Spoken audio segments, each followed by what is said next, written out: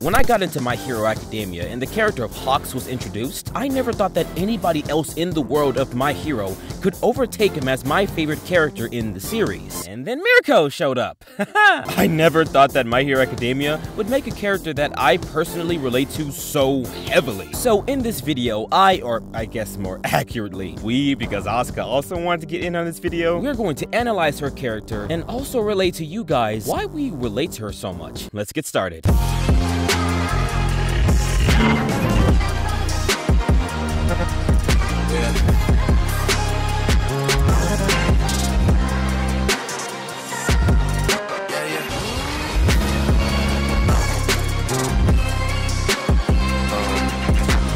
If I had to choose one word to describe Mirko, it would be free. She's someone that isn't tied down to the traditional way of superhero society. In fact, she's the pioneer of a new type of pro hero. Let's start from the beginning. The first time we see her chronologically is within the spin off slash prequel manga, My Hero Academia Vigilantes. And we're not going to go over the entire event of the Underground Masquerade arc. So if you want to know the full story, then I recommend you read the manga. We're only going to focus on the parts with Rumi. The one thing that Mirko loves more than anything is a fight. Fighting is her passion. It's what makes her feel the most at home. Even in her junior high days, Rumi crashed several fight clubs in Hiroshima, becoming known as the legendary schoolgirl hooligan, Bunny Irusako. She was eventually apprehended, and in the end, she vanished after being taken into custody, and the name of her school was exposed. She was consequently expelled. She eventually enrolled into an unnamed hero school in Hiroshima. A lot of pro heroes you see in the present day, majority of them have gone to UA, but Mirko never went to UA.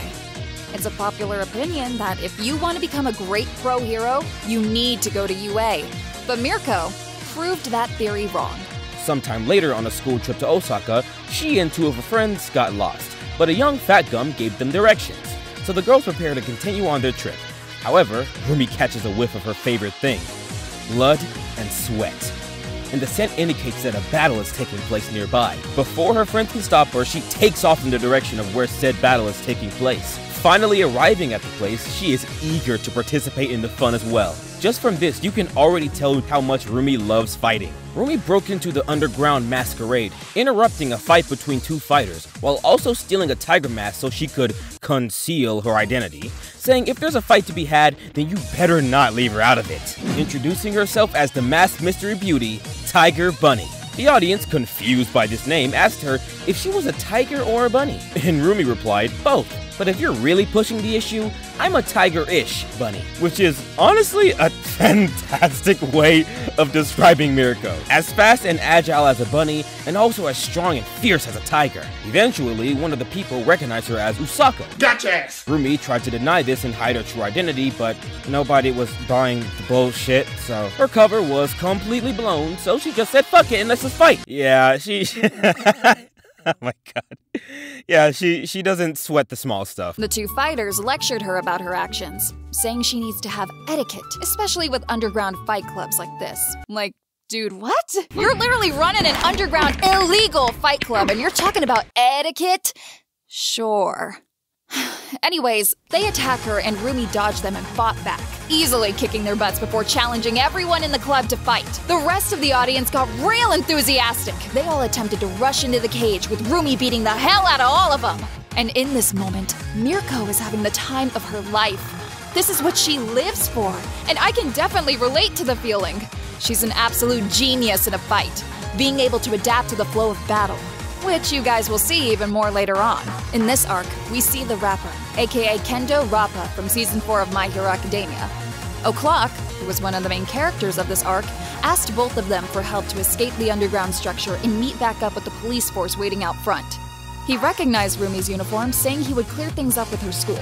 Rumi started panicking a bit, saying that they really don't need to know about this, and then asked how she can help. Rappa, now knowing that Rumi is a hero candidate, is wondering what the world is coming to if a chick like her is calling herself a hero. But Rumi says she has the number one thing that a hero needs kick power. That's called motherfucking bars, nigga! you know nothing about She says that a kick is five times as strong as a punch, so one kick to the head can take down even the biggest of bad guys. And this is exactly how Mirko operates as a pro hero later on. Kick first and ask questions later. She operates this way because she wants to resolve the issue and conflict as soon as possible, before anyone gets hurt or worse. All of the details and stuff can come later as long as nobody dies. And with this method is how she became the 5th ranked hero in Japan. O'Clock asked Rumi and the rapper to make their way also acting as a decoy, although he also asked them not to use their full powers on people transformed by the gas. If you know Rappa as a character,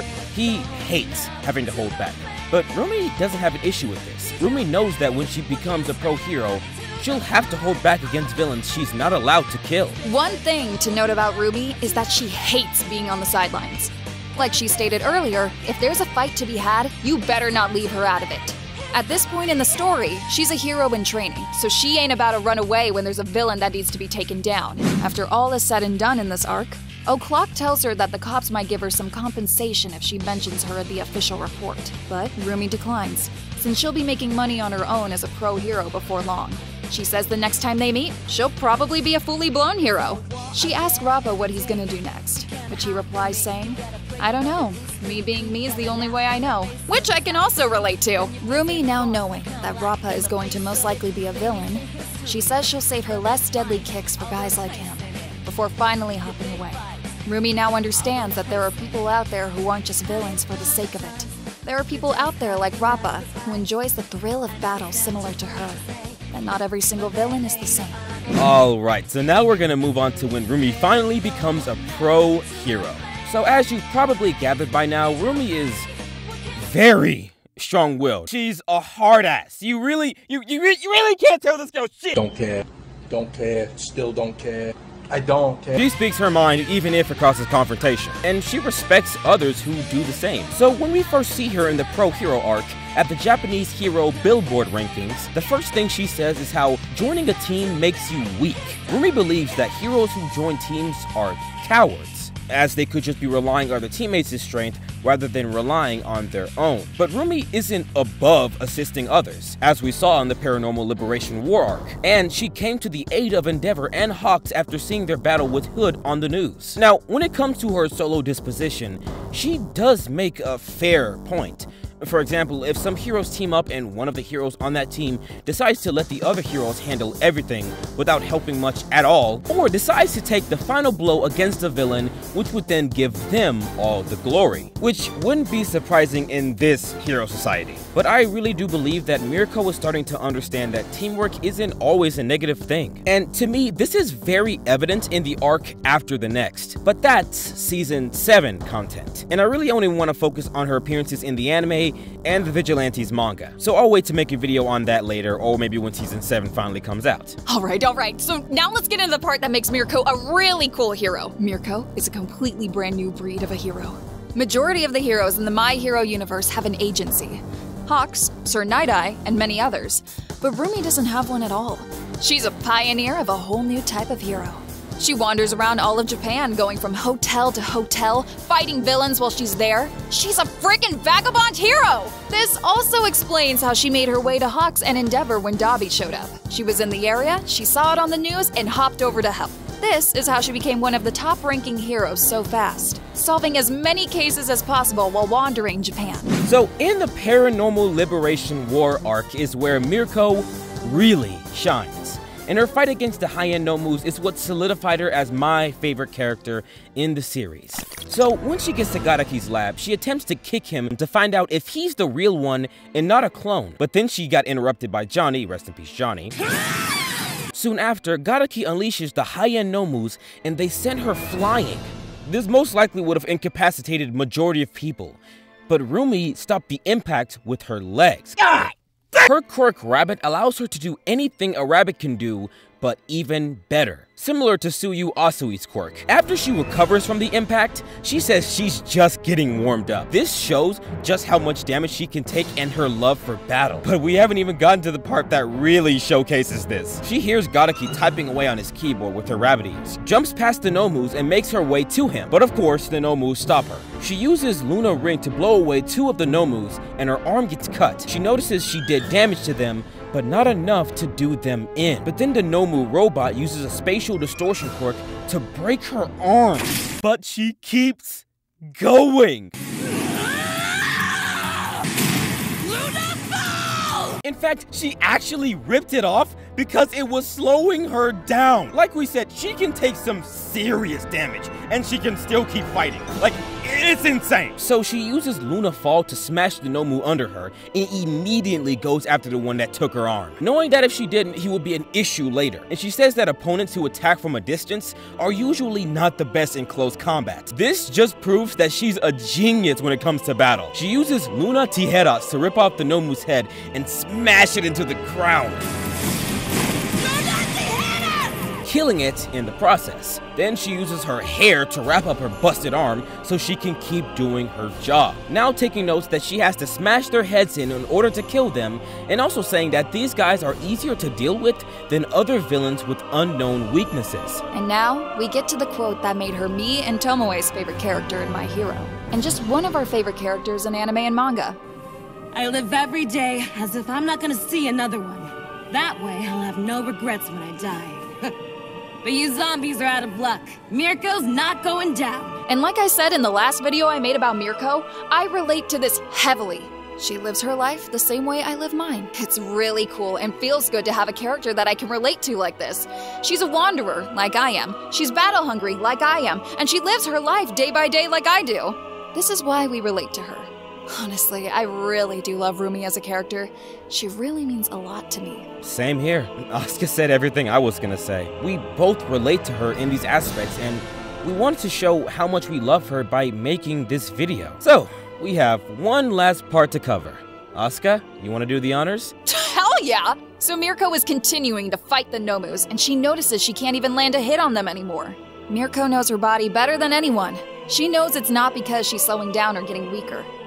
It's because the Nomus have fully awakened. When it comes to battle, Mirko is extremely perceptive, being able to tell if something changes about her opponents. Even though the situation is bad, she's still having a blast. She decides to prioritize the mission and stop Garaki ASAP. She's sustained so many injuries, but she's still pushing on like they're not even there. The Nomus grab her hair, but she just rips it off so she can keep going. She's friggin' insane and I love it! She says that if she's gonna die, then it'll be after she achieves her goal. She makes it to the tube Shigaraki is in and attempts to smash it. But one of the Nomu stabs her in the right leg with its tentacle. But of course, that still doesn't stop her. Endeavor comes in and smashes the Nomu into the ground. And that gives her time to continue the attack. She says that the one thing about heroes is that they never quit. The moment she saw Shigaraki, her body knew exactly what to do. It's her rabbit survival instinct. It told her she couldn't allow him to be released no matter what it takes. She unleashes her fourth ultimate move, Luna Arc.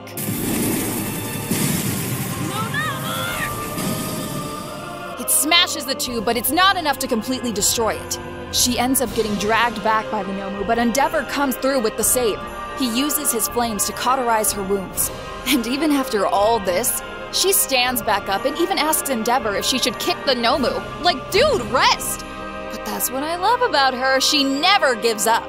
So, Mirko was out of commission for the rest of the arc. But damn, did she put on a show! Rumi Usagiyama, the fifth ranked Japanese hero Mirko. She's a pioneer of a brand new type of hero who wanders Japan looking for villains to take down. She lives her life day by day so that she won't have any regrets when she dies. She's strong, stubborn, battle hungry, and most importantly, a hero. And that's it for the analysis. I have no idea how long this video will be, but regardless, I hope you enjoyed, and I hope this made you appreciate Mirko a bit more. Asuka, thank you for joining me in this endeavor. This was fun. Hell yeah! Of course I was down to do this. She's kind of my favorite character and all, you know. Thanks so much for watching. Leave a like, subscribe, and comment below what you think about Mirko. Oh, and let me know if there's something you think we missed. See, See you guys guys, later. later. Oh, and uh, before I go, uh, go follow the voice actor of Asuka, Brenna. She is the GOAT. She's the absolute GOAT. uh, she's an amazing voice actor, and uh, thank you so much for voicing in this video. And uh, yeah, that's it. Okay, bye.